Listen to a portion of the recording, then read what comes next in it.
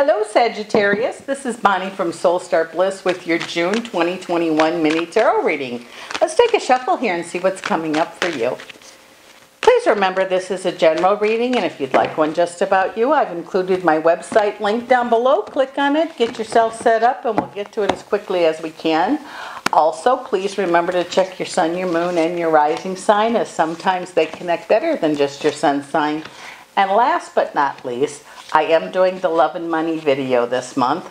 And I'm going to combine the two. It's something I kind of thought about to do. I'm going to draw three cards for love and three for money on the same video.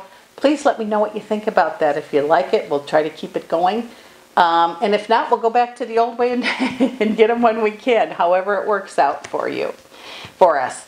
Okay, it looks like the disappointments from the past are going to be a thing of the past. Oh, I, I know that sounds like a riddle, but it's like uh, repeat. It's not going to be repeated again. It looks like the the answers to some of the things that have gone on, disappointments, being laid off, you know, whatever shortage of money, it looks like those things are going to be coming to an end and a change of just a change of things flowing for you. It looks like new beginnings are definitely possible. In fact, I feel some of them are already in the works. Moving has been, and travel has been prominent today for all the signs.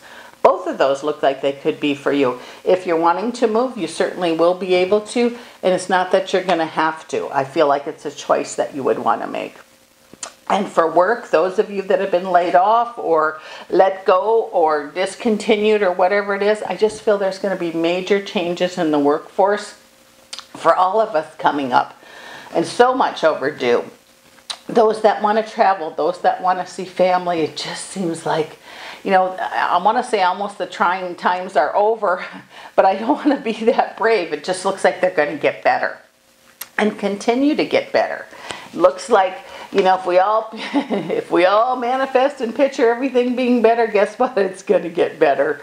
Um, sometimes what we think about really can affect the way things are. For instance, have you ever noticed when you're in a bad mood, you walk by the doorknob and you get your shirt caught on it? That never happens to me when I'm in a good mood. Using that as an example, very small example. But other things can be that way. It seems like, you know, three things come in three. Three good things or three things break I don't know, it's just kind of like a weird kind of rule for me. So when things are good, again, have gratitude. It'll get you through those times when it's not so perfect. Or look at things and be thankful for what you have, no matter how small. I remember being really thankful one day for a Coca-Cola. Um, and I hadn't had one in months, and it was the weirdest thing. I'm outside working, and a friend stopped with it. It was like, wow, that worked fast. I didn't know if that was it or not, but using it again as an example, as a thought uh, coming into fruition. It says that feeling of being alone for you, I feel that's going to change somewhat. Like you're going to understand that those that are close to you and around you really can be there in a good way. Seems like over the past few months you've kind of distanced yourself, some of you, from your family. That's going to change. It's going to be like, I want this back. I want it to work that way. Those of you that have been working at home and want to go back to work, a lot of you, I believe, will, if you haven't already, will be. And a lot of you people maybe continue to work at home. It might be a new way of doing things. In fact, I have, look at the new ways of shopping and, and such. It just seems like, you know, things could be very different, but they could also be very positive and very productive for a lot of you for a lot of us, I should say. All of us are in this together, no matter what sign we are. And it says here too, like, um, I just feel like writing. I don't know if some, some of you are writing books or writing journals or whatever. Sometimes when we can write our feelings down, it can explain a lot to ourselves. That is not a riddle, that is true. So if you are journaling, that's great. But I feel some of you that were maybe an author of some type, this could be a good time to pick up your pen again. Um, and, ma and make it about you, like or what's going on. I think you're going to find inspiration in kind of odd places. And we can't focus on what's gone. We need to focus on the here and now. Um, because I just feel like what we focus on is what's what we're going to bring to us.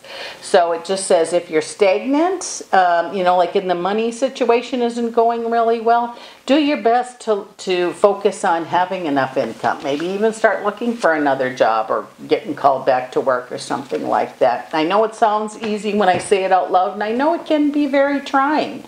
but it just says a lot of us have been tested with patience with family, jobs, whatever, everything that's going on. And this could be a time to just really reward ourselves. You know, find a peaceful place, find a place where uh, you can feel good about something, whether it be at home, at the park, wherever. It just says take a little time for yourself and do what makes make gives you a little joy. You know, it might be going on a hike. It might be riding your bike. You know, no pun intended there. I'm just saying, find something that really lifts your spirit and uh, do it as much as you can, even if it's just once in a while. Because when you've given everything you have to everybody else, you forgot to take care of yourself. Okay, so it looks like things could get a lot better here for you, so you might want to think about those things. And it says, you know, it's almost going to be like we're going to be an apprenticeship learning how to get back to doing things the normal way, I think, or the way they used to be, but remember they certainly could be different than they were before. So have no guilt moving forward. You know what I mean? Like if you're really wanting to look for another job, go look for another job. Whatever it is that, you know, is making you uh, motivated or you want to do something, the time is now to, to really put into progress some of those thoughts you've had over all this these months of kind of not doing a whole lot. It says victory certainly can be yours. So don't have an excuse or don't, you know, say, oh, I can't move forward, I can't do this, things aren't just the way they're supposed to be picture them the way you want to be and then do the best you can to move forward. And with that said, this is Bonnie from Soul Star Bliss. I so appreciate you dropping by Sagittarius and see you again next month.